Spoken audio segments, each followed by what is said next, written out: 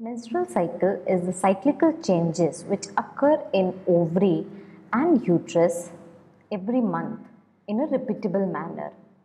Basically, this menstrual cycle is uh, causing the development of the follicles and with the development of the follicles, it also prepares the uterus for the implantation if there is fertilization of the released ovum.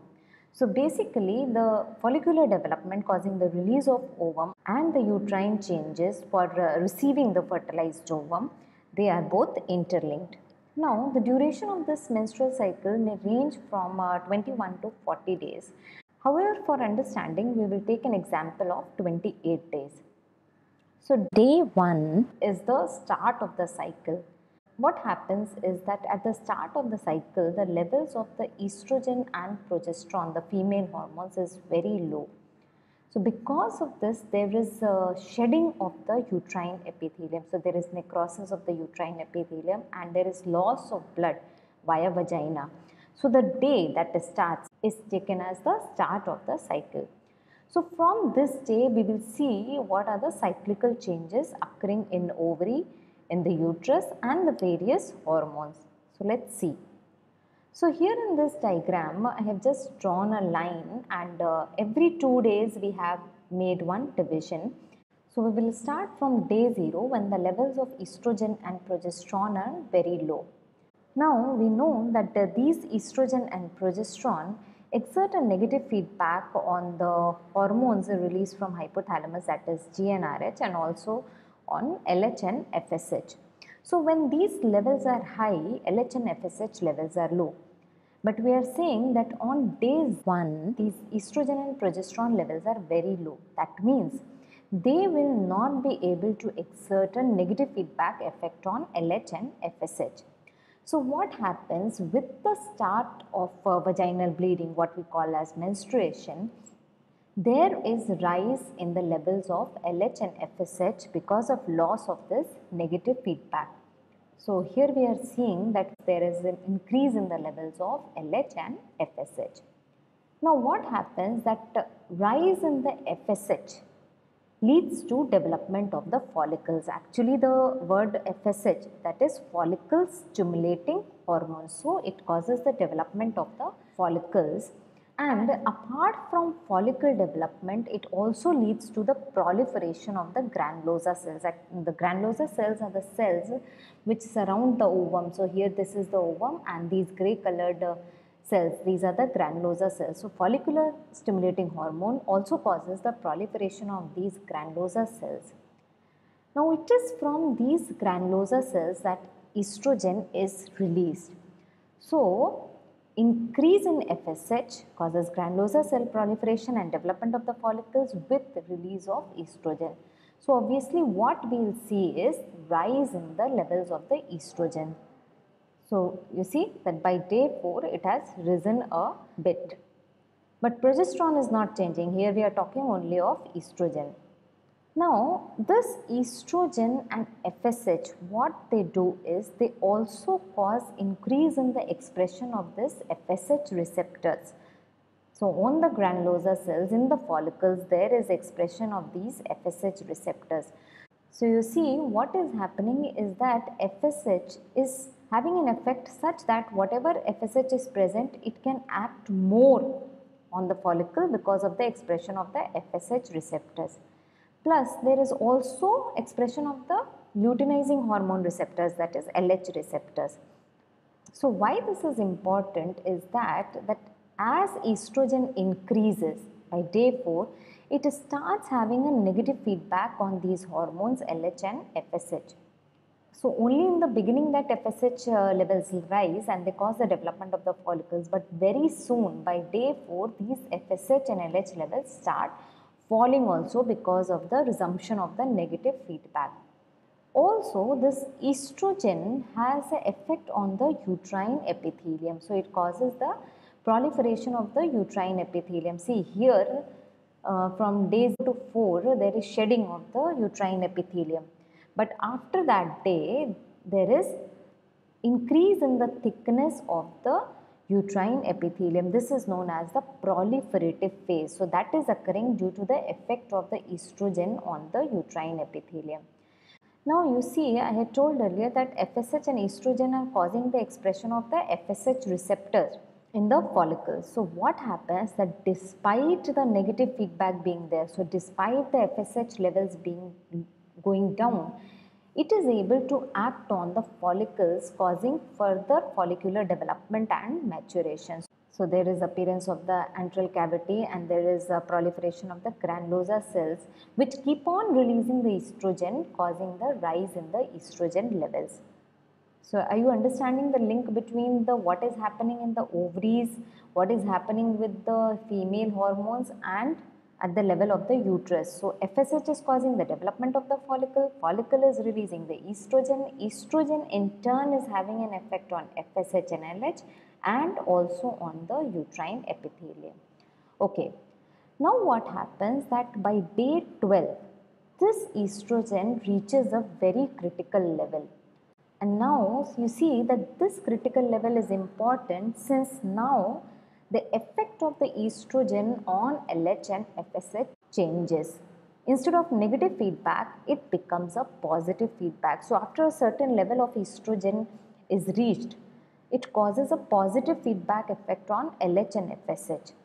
This leads to rise in the levels of LH and FSH because of the positive feedback. Actually, FSH rises around 2 to 3 fold while LH rises around 6 to 10 fold. So there is too much rise in uh, LH and uh, this rise actually starts around 24 to 48 hours uh, before ovulation and it peaks around 16 hours before ovulation. So here we are seeing a peak in the LH and FSH levels.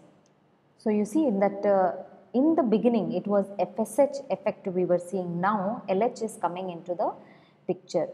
So now this LH that is the luteinizing hormone, what it does is modifies the granulosa cells. See, still the ovulation has not occurred. So this luteinizing hormone modifies the granulosa cells, causing them to release progesterone. So they are being converted into progesterone secreting cells. So till now we saw that progesterone was not changing. The levels were uh, constant only almost. But as the levels of the luteinizing hormone rise, progesterone start rising. So yes, progesterone starts rising approximately 24 hours before ovulation. And since granulosa cells are converted to progesterone secreting cells, so obviously the levels of the estrogens are falling now.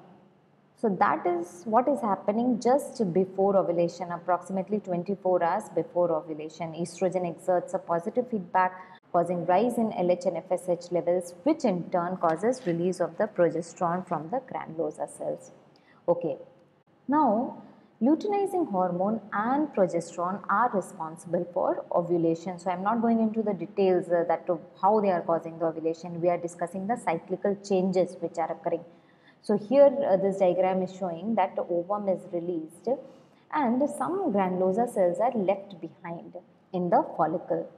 So, Around day 14, ovulation occurs, leaving behind some granulosa cells and the, there are certain theca cells also in the follicle. Then you see that uh, because of decreasing levels of estrogen, this positive feedback of estrogen on the LH is gone because I told you that there should be a critical concentration of the estrogen which will cause a positive feedback. So as the estrogen levels decrease, the positive feedback is gone causing decrease in the levels of LH and FSH. So, are you understanding the switch? Initially, there is uh, no feedback, then negative feedback starts, which converts to positive feedback here, and then again the negative feedback starts operating, causing decrease in the levels of LH and FSH. Now, this LH, it has one effect on the remaining cells in the follicle, which is luteinization basically they become lipid laden cells and they secrete a lot of progesterone. So the progesterone levels rise but they also secrete some estrogen as well. But you see the progesterone levels rise too much and estrogen levels also after a small dip they increase. So this continues while LH and FSH levels are low. You see because the negative feedback is operating. Getting the point? Now just as estrogen was having an effect on the uterus, that it was causing the proliferation of the uterine epithelium, causing the proliferation of the uterine glands, and by day 14, the thickness of the uterine epithelium is approximately 3 to 5 millimeter. Similarly, this progesterone also has further effect on the uterine epithelium and this is known as secretory phase. So, Basically, estrogen is responsible for the proliferation of the uterine epithelium which is known as the proliferative phase. And uh, progesterone is having an effect on secretion of the uterine epithelium. That is the glands which are there they start secreting. Then uh, there is little bit increase in thickness also because I said that there is estrogen also which is increasing. So here the thickness at around uh, 14 days it, the thickness was 3 to 5 millimeter here it becomes around uh, 5 to 6 millimeter. But there is increase in the tortuosity of the vessels and the glands also become tortuous. They start secreting. So that is why it is known as secretory phase. Okay. Then what happens? You see this luteinization which we have spoken that these uh, cells, the remaining cells in the follicle, they secrete estrogen and progesterone. At around 23rd to 24th day, they undergo involution. Why? Because I said that estrogen progesterone, they are exerting a negative feedback on LH and FSH and their levels fall so low that they are not able to maintain the corpus luteum. That is what I said, that is the luteinization of the remaining follicle. So that is known as corpus luteum.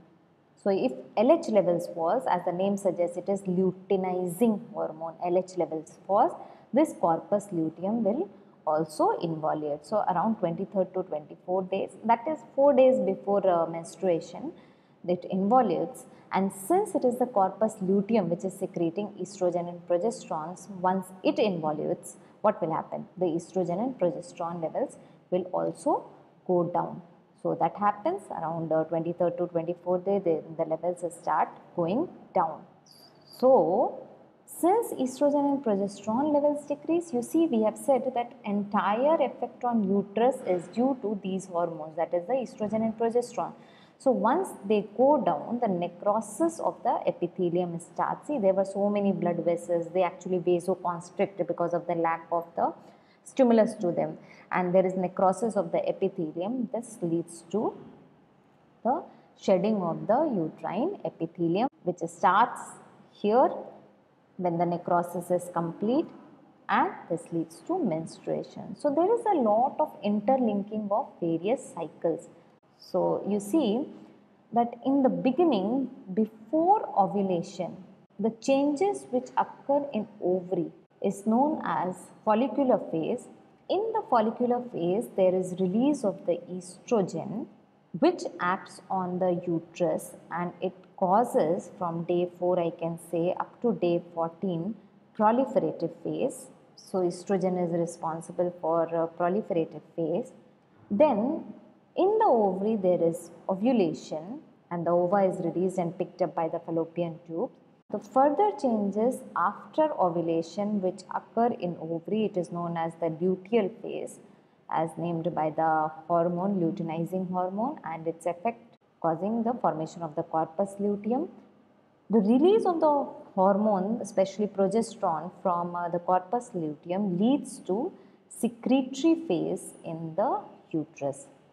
Finally, as the levels of the estrogen and progesterone uh, go down due to the involution of the corpus luteum, there is shedding of the uterine epithelium which is known as menstruation. So, there is a a whole connection between what is going on in the ovary, the levels of the various hormones and the uterus. We cannot see it independently separate from each other. We have to link the various cycles with each other with the levels of the hormone. Well, thanks for watching the video. If you liked it, do press the like button, share the video with others and don't forget to subscribe to the channel Physiology Open. Thank you.